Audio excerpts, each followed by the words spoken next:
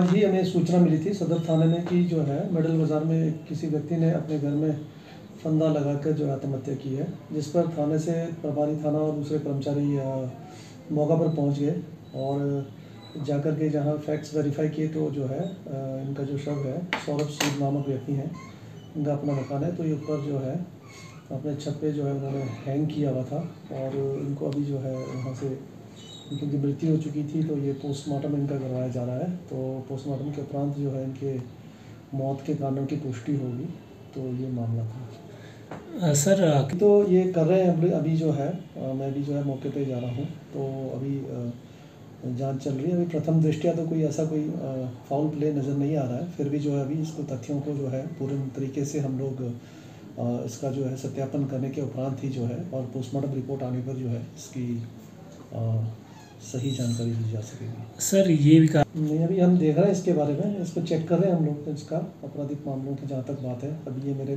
ध्यान में बात नहीं है तो हम इसको चेक करेंगे देखेंगे क्या बात है। Bureau report city channel Shimla.